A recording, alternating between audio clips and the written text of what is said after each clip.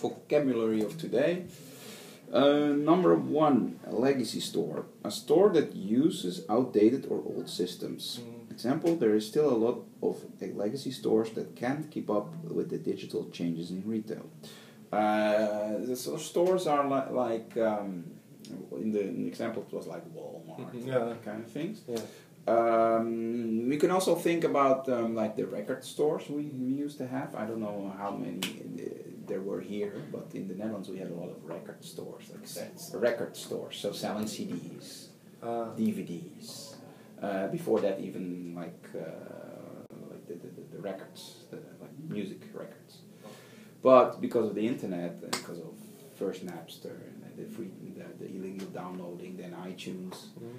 um, they all went back bankrupt because they couldn't uh, evolve quick enough. They thought, oh, the internet that's Mhm, going mhm. to be a fad, it's going to be fade, going to fade, fade out, and Mhm. we will still sell records. But that was a real legacy store because they didn't um, use technology to sell their music. I Mhm. think. So yeah, the, the, the stores that have been there for a long time and uh, yeah, still, yeah, there's still people still come, but like less and less and less and less. There's also in the Netherlands there's a big um, uh, like um department store that also went bankrupt because of this. Very big department store because they couldn't um, evolve fast enough and they couldn't pick up the trend of Mhm. people buying things on the internet and they kept like um, staying in this old mentality of people have to come to our stores to buy our stuff Mm. so yeah that's one legacy stores um, digital disruption a change that occurs when new digital technologies and business models affect the value proposition of existing goods and services. Example, ma- many retail stores have suffered from the dig- digital disruption since 2012. Yeah, this is what I'm just just told. The Yeah. yeah, using the internet, people Mhm. buying things from internet and don't go to stores anymore, and as more and more and more and more, so that disrupts the Mhm. original uh, state, yeah, original state of how to buy things, Mhm, how to uh, do shopping, Mhm. and a lot of companies couldn't or didn't want to change, and that's why it's, it's a disruption. Must see or must go. Uh, considered to be essential to visit or see. Mhm. Example: Jeju Island is a must-go tourist spot when you visit Korea. Yeah, that's uh, uh, self-explanatory, I think. Uh, must go spots in Europe. Do you know some? Let's go spot. in Europe. Yeah. For instance, Greece. Greece. Greece is a must-go spot. Uh, right. Santorini. Oh yeah, Santorini. That's because of the Pocari sweat. Yeah, yeah. I know this. Yeah, yeah. Because of my wife. I've been there with my wife because she wanted to Oh. go there and she told me about this Oh. commercial. So that's quite why I know. Yeah, that's why I know. Yeah, it's very beautiful. Yeah, this must this must go spot in in Greece. Yeah. Um, millennial playground, a store where millennials can experience the products firsthand before buying. Uh-huh. More and more shops are converting their place into a millennial playground. Um, millennials itself is a generation. I think I'm at the border of it. I'm in between Generation X and millennial, I guess. Uh-huh. Uh, nine, 79. Some say it st- starts from 78. Some just say it starts from 80. So it's, but Mhm. it's I don't know. I, I think it's Because- border, yeah, border is 1980. 1980. Yeah. The- That what others say is 78. So you don't know. Mhm. But the, the, the, the, the way how my, how they say millennials thinks is also a lot of my thinking. So it's yeah, you know, it's it's it, it- it's like yo- young people are Young born people, around yeah. 90, but from 1980 till what is it, 2000? Yeah, and they use technology a lot in, in Mhm. ways that the generation before doesn't. And uh, lots of social media, they communicate differently.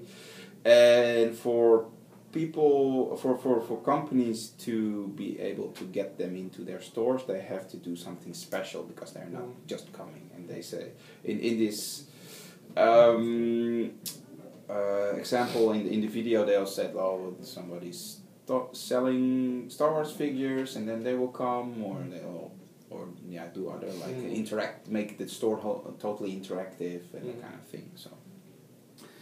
Uh, fulfillment center, the location where incoming orders are received from affiliated stores or locations. Example, Alibaba has fulfillment centers in many countries around the world.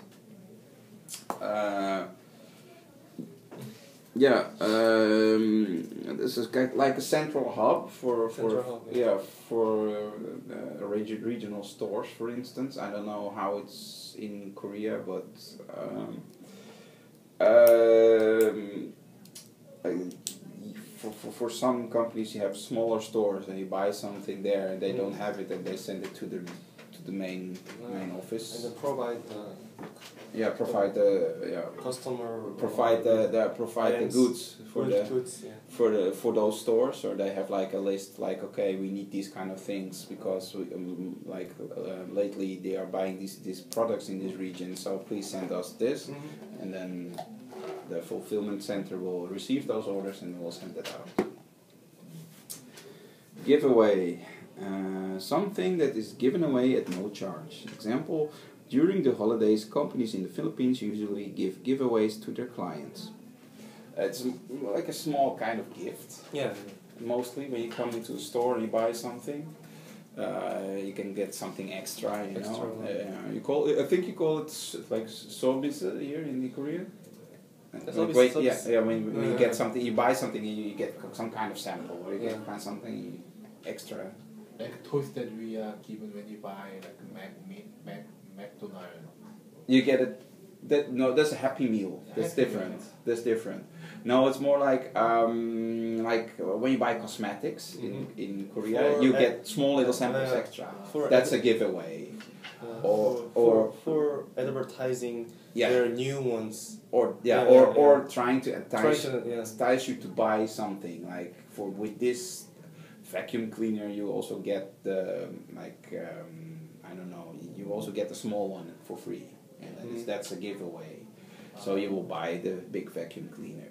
Mhm. Uh, f- f- wh- what else? Um, small toys with something else. Uh, yeah, like small gifts to Mhm. entice you to buy uh, like the main product. Mhm. That's So as I told you, Happy Meal when you buy Happy Meal, Yeah. then they give us give kind of give a giveaway like you know, yeah. But I don't know. I think you bu- you pay for that because you you, you order the Happy Meal. Ah, Like I don't get is like i- included. if it would be I'm ordering a Big Mac and then you get a toy, yeah.